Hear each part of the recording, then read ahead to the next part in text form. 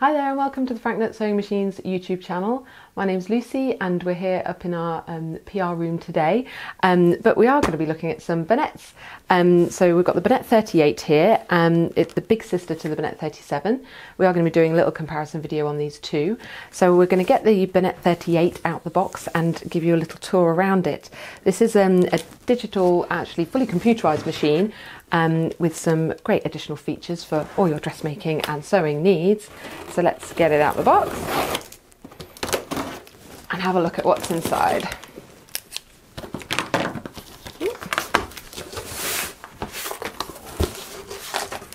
So we have, when they fall out, um, a little manual there, um, the guarantee and also the stitch card information. This particular model does come with um, hard case as well, so I'm just going to kind of lift that up and out. It does have a bit of polystyrene in there, which does need to be kind of kept in position, so do keep that bit there if you are unpacking. We've got power lead. Actually, I'll pop the hard case over here so you can see it. There we go. It's one of those ones that slips over the top and the handle pokes through. Um, bag of accessories and feet this extension table. So this is a table that slips around the machine. We'll take a look at how that goes on shortly. And then the machine itself. Oh, there we go. And the foot control hiding in the middle there, so we'll just pop that out. So, right, we'll get it set up and plugged in, and then we'll give you a bit more of information about all of the features of this machine and stitch it off as well. So we've now just got the uh, B38, Bernette 38 all set up here and so um, we're just going to go through exactly what we're getting in our accessory pack and um, then how we operate the machine. Um, so in here we've got everything we need to look after the machine, to run the machine and also to use the different stitches because we've got additional feet and things as well. So I'll just go through it here. So um, spare pack of needles including a twin needle. Um, we've got little brushes, for cleaning and the needle threader. Uh, sorry, needle threader, seam ripper that is. We're also getting our set of bobbins and there is one actually inside the bobbin case already. Um, a couple of different size spool caps, uh, so we've got two large ones there and there is another small one and then we do also have an additional small one which is actually on the machine already. Got a spool net for keeping hold of those wayward little threads sometimes, very useful. Um, additional spool pin for doing using your twin needle screwdriver for taking off your needle plate for cleaning and um, or you can also use this for the screw on the side too and also the um, needle screw. And then feet wise we've got quite a few in here. So we've got the button sewing on foot there, put it the right way around. Um, this one is our blind hemming foot. We've got our zipper foot, the over edge foot, a satin stitch foot, and an open toe satin stitch foot. You've then got your standard foot on the machine all ready to go and hiding in the front here, I hope, yes there it is, is the automatic buttonhole foot as well. So um, quite a comprehensive set of feet included with this machine and um, obviously details of how to use all of those are in your manual. Um, so we'll pop those to one side for a moment and just have a look at how we get this threaded up and get going.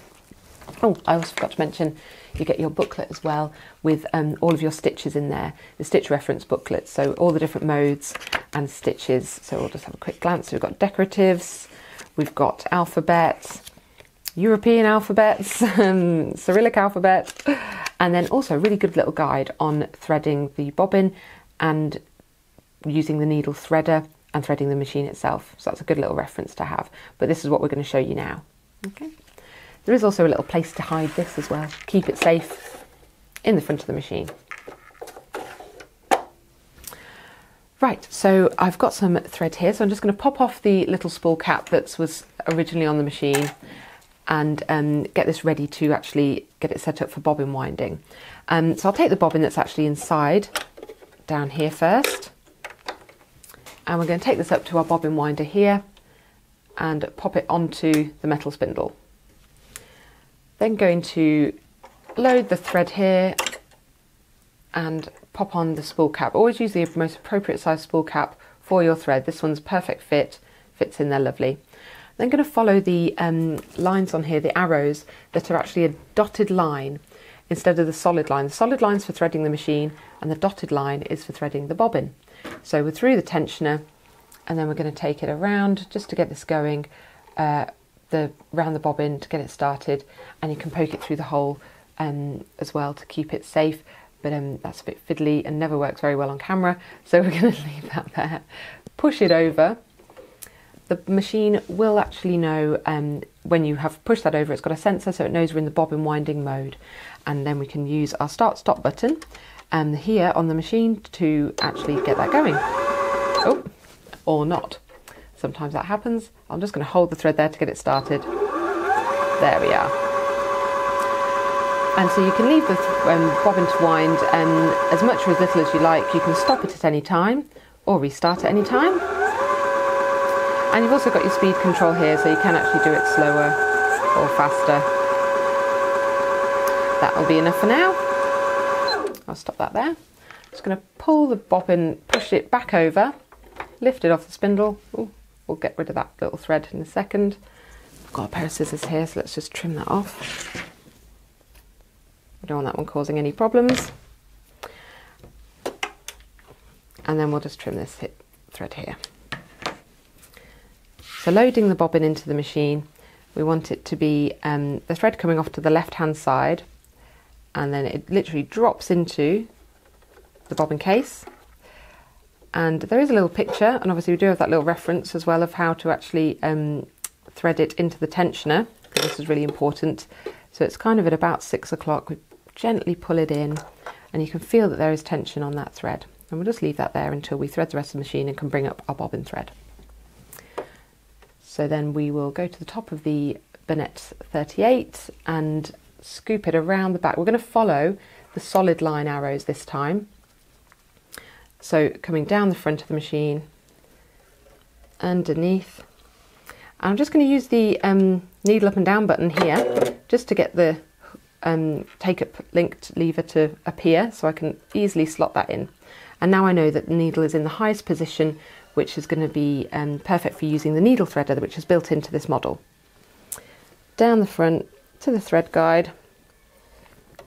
And as I said, we've got a needle threader, so I'm just going to engage that here, and it should stay down in position. I'm Going to go around this little arm, and so the, the thread is flowing in the direction of that arrow. Then pop it up. Oh, this one doesn't seem to, let's have a little look. There we go. And it's made a little loop out the back there that you can then just pull through. Then we're going to bring up the bobbin thread by using the needle up and down button. There it is. And I can pull both of those threads out the top, tuck them under into the back, and then pop on the bobbin cover. And we're ready to go. So we'll have a look at some of the other buttons on the machine here as well. Um, so we've got a little, a little tour, if you like. Needle up and down, which we have already used. We've also got built in the scissor functions. This is an automatic thread trimmer that will trim the threads on the top and the bottom whenever that is pressed. The twin needle button, which means that you can actually let it know that you're using a twin needle and therefore it won't let you do anything with the stitches that you shouldn't be doing that could hit the foot. So that's a really nice handy one to have on there as a little safety feature really. Your speed control, which we've already looked at when we were winding the bobbin. And then down here we've got a tying off locking function a standard reverse button and the start stop. As we saw when we first opened the machine, um, the Bernette 38, you do get the foot control in the box. Um, obviously, most people would probably decide to use that, but for the purposes of this, we're going to be using the start stop button here. Um, but they both do the same thing and use the speed limiter here in order to operate. So that's like this, your maximum and your minimum, and you can change that as you're going as well. So uh, we're going to go through, so with, as we saw with the um, stitch reference chart, there are a few different modes on this machine. We'll just go do a bit of a running stitch just to show you how that works. Get a feel for the machine, get a feel for the sound. So I'll just pop it on a medium speed and we've got that um, uh, straight stitch selected, which you can see referenced here. And then our length, width of stitch and our length of stitch. And they can then be adjusted using these ones here. So if I wanted to increase my stitch length a little bit, I can just use that, that button there.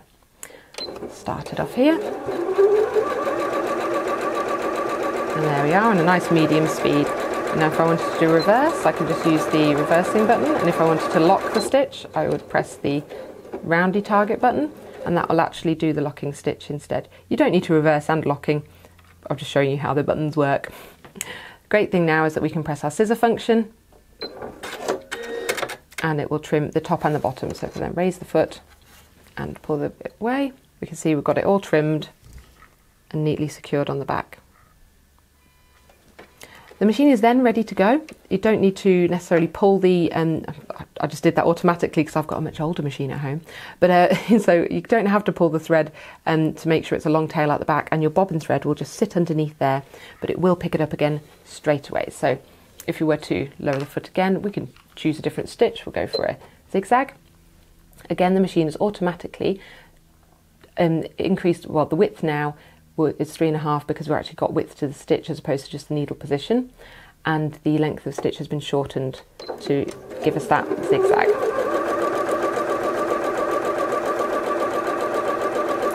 And then again, if I was to use the locking stitch, and the scissors. But the machine picked up the thread totally, very easily, automatically, no problems even though you can't see it. That's the point I'm trying to make, it is there. On this model, we have got memory functions, which means that we can combine stitches together and also um, combine lettering to do words. Um, so you can do labels, all sorts of fun things. So if you were to have a little look on here, because I can't remember all the numbers off by heart, um, alphabet mode. So I would select on our mode button here, and you can see they're all labelled here anyway down to mode 4, which is the alphabet. And then just type in the number of the stitch that I'm looking for, of the, of the number, the letter that I'm looking for. So um, we could just do a simple hello. So we're going to go for 18. And then if I press this memory button here, it's then going to show me like a cursor for the next letter. So I'm then going to go for a lowercase e, that's 41, memory again, um, L, which is 48, memory again, 48 again because that's another L and then the O 51 and memory. And I can then use this memory function here with the arrows left and right just to check that I've spelt my word correctly so I can see my hello. Um, the maximum stitch width of this machine is 7 millimeters, so that is what it has actually um, automated the lettering to be. Lower this and then we can let it do its thing.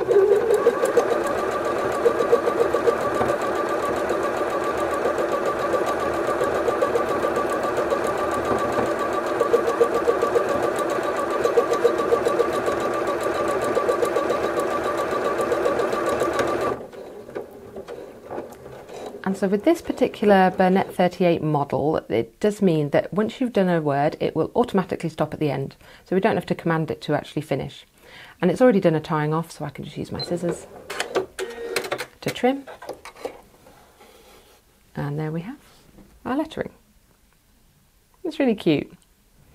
It is only seven millimeters high, but it works well for labels and things. Little personalizations here and there decorative stitching um, you can also combine together but depends on how you want to do it in exactly the same way. You just literally select the um, uh, the memory function when you're in the decorative stitching. So if we were to go to mode here and select our decorative number three and then go to that memory this is where we again get that cursor and we're able to add these together. So in that decorative now just going to do the solid heart which is 6 5 and then press that memory and then we're going to do the 6 7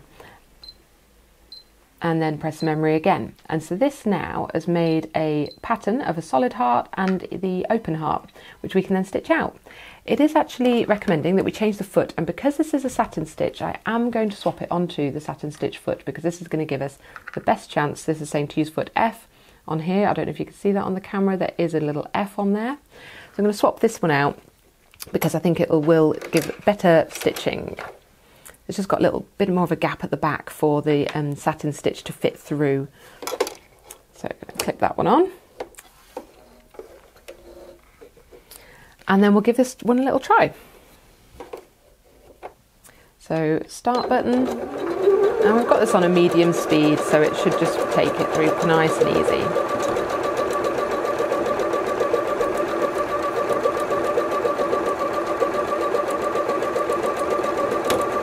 It's important when doing decorative stitching where it is moving backwards and forwards to not push or pull the fabric, we're just guiding it through.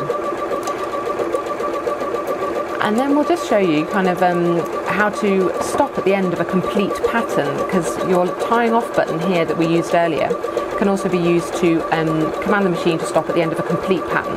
So when you're coming towards the um, end of wherever you need it to be, you can, uh, I'll just show it on this one. If I press this that target button now, it's going to complete the pattern that I've done and then do the tie off. And then we can do our scissors.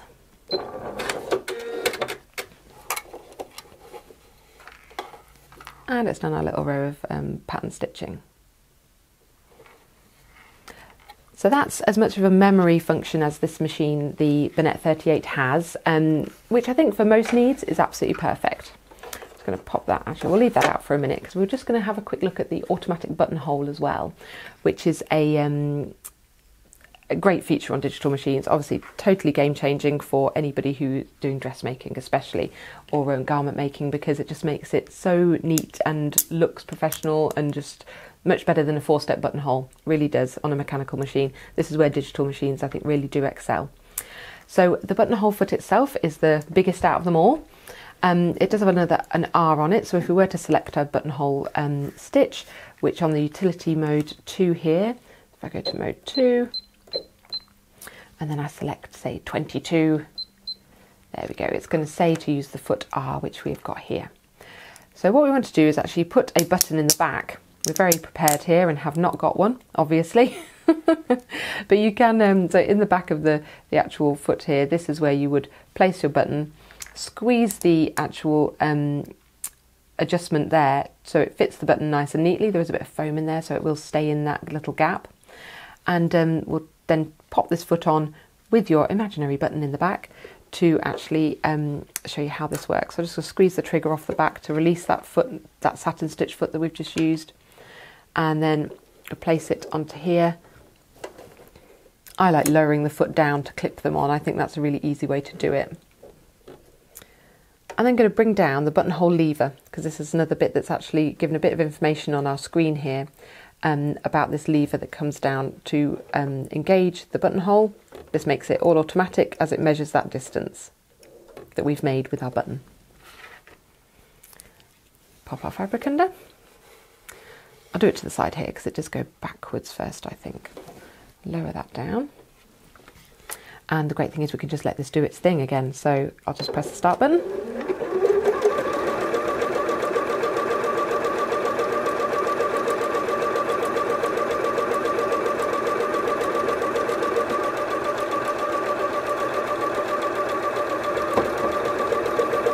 As you can see, it stitches both of the sides of the buttonhole in the same direction, giving it a, um, a better chance of being neat, to be honest.